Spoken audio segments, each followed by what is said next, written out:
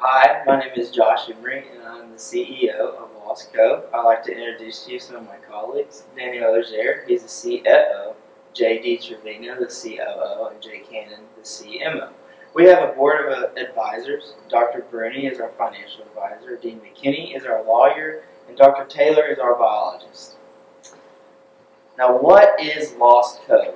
Lost Cove is a dry dock marina, dry dock boat storage. Uh, we offer uh, a, an opportunity for you to call in, to uh, email us, to set up online, anything, any way you can get in touch with us, to request for your boat to be put in for you ahead of time or when you get there. We're located in Texas on Lake Lewisville in Denton, McKinney, and the Dallas-Fort Worth area. We offer gas on the lake uh, from our docks that will make your trip easier and let your time on the lake last a lot longer. We offer a mini mart that can be accessed from the uh, road or from the lake. Uh, our mission statement is to provide a swift and efficient service to store, maintain, and protect customers' aquatic equipment while providing competitive gas, food, and lakeside products.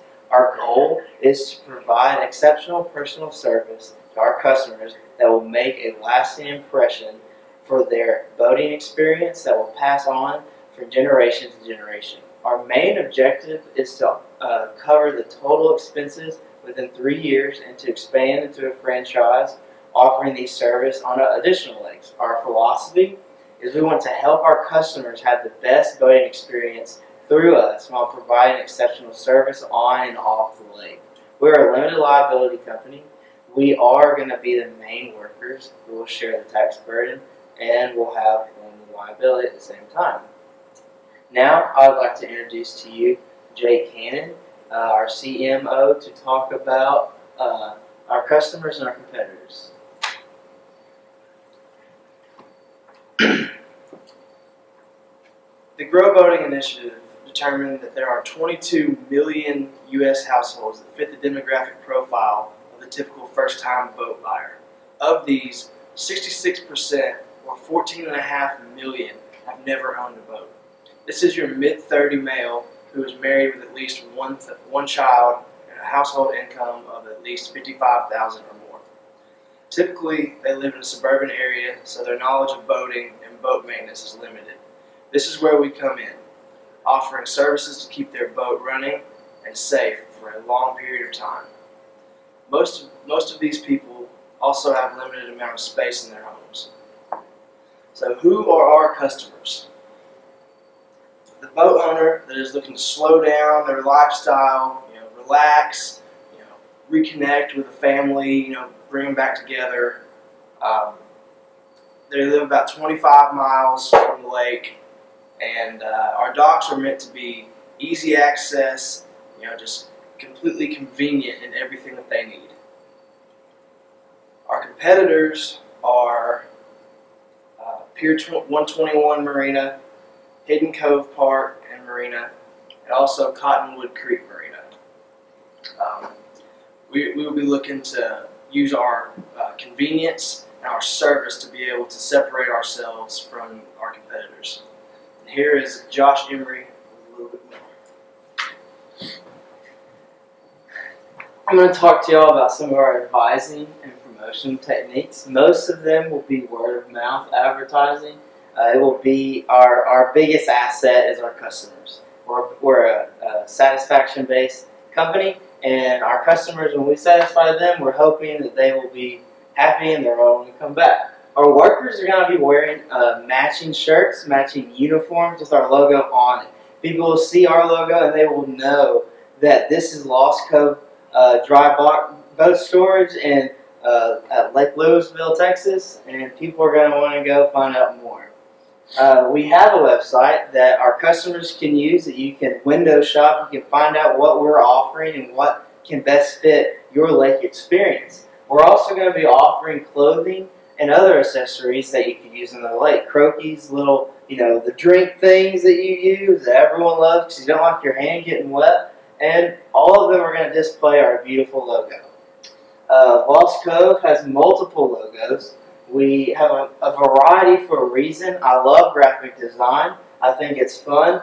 And I like to use graphic design to promote companies. I think when you see a logo like Nike, you know what it is. Southern Marsh, Fayettechill, the kind of stuff that's in right now, the Southern Outfitter like shirts. People see their logos and they know what it is. It's a, it's a symbol for them, and we want to use that as a symbol for us, not just as a, a boat storage company located in Texas, but as something that has future opportunities that can grow to no one knows what. Uh, now, I would like to introduce Daniel Auger, our CFO, to talk about some financials. Well, uh, good afternoon. Um, as he said, I'll very, very briefly talk about the financials. Uh, first off, our initial funding. We'll be using both forms of funding, debt and equity. For equity, we'd all be pitching in um, roughly around $50,000, um, and we're in charge of coming up with that money, whether that's through credit card debt or through friends and family, or hopefully through personal savings and stuff like that. So we can all have an equal investment into the company. Then after we have that initial money, we will purchase the land and we'll apply for a small business loan um, that is backed by the government uh, for about $1 million for information on the terms, uh, the length of the loan, and the interest rate and all of that. You look to your appendix where everything is kind of listed out step by step. Next, we're going to look at the three sources of revenue. Uh, we have three sources, as I just mentioned. We have the membership, uh, which we'll be charging $100 a month, and upon our research and looking at competitors, that is a very competitive price, yet it will allow us to still remain profitable. Uh, next, other source of revenue would be the gas. Um, both members and non-members alike can come up um, by our docks and then purchase gas, and that's how we break in more money that way. But our biggest source of revenue would be our inventory sales from convenience stores. We uh, have the yearly breakdowns, uh, which are then therefore broken down even more into seasonal breakdowns. And so in the summertime, of course, is our peak season where everyone with moms and their families want to go uh, to the lake and, and, do pontoon boats and um, there's a party cove action on the lake and stuff like that, and so we'll have a lot of revenue from there. But also in the winter, which we are surprised by, there's a large amount of fishing on this lake, and so we have a, we've lower, uh, as you can tell, we lower the gas sales, but we increase a little bit of the inventory sales, the more than you'd expect, and so because there's a lot of bass uh, fishing there, so that we'll at the inventory at the convenience store we'll have uh, food and drinks and bait and tackle and stuff like that.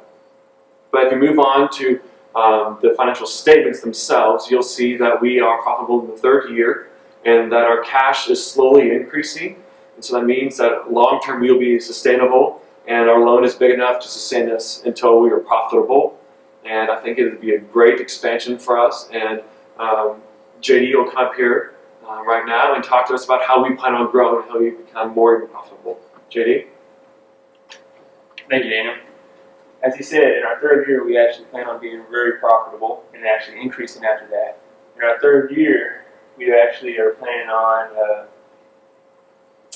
building our storage building, expanding it about half of a percent of what we already have.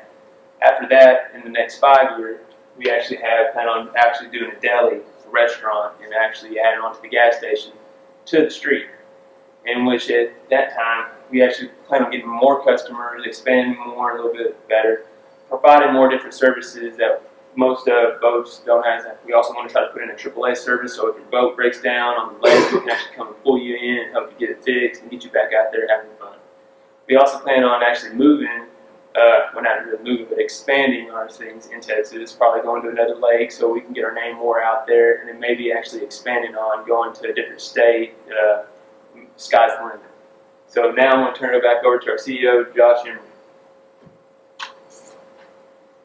Now this is the technically the end of our presentation. Uh, if you have any questions, you can feel free to email us at lostcove at gmail.com. Uh, we are very excited about the opportunity for you to invest in us. We, we want your business. We want to be able to prove to you that we can be very successful, like we've said, and I guarantee you that we can. If you just give us the opportunity, then give us the money, to help start a great franchise, a great thing that can, can benefit many customers throughout Texas and even throughout the rest of the United States once we expand. Uh, if you just grant us this this wish that we have, it would make our dreams come true. We can have the whole small business, United States, America kind of thing, and we can all come together and, and work for a long time, and, and hopefully you will uh, granting us this. Thank y'all for y'all time, and I hope you all have a great